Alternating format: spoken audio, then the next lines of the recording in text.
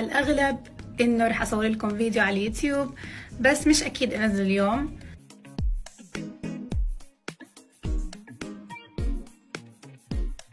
بالنسبة للمول Beauty Keeper يا جماعة في كتير ناس سألوني إذا كود الخصم تبعي لس...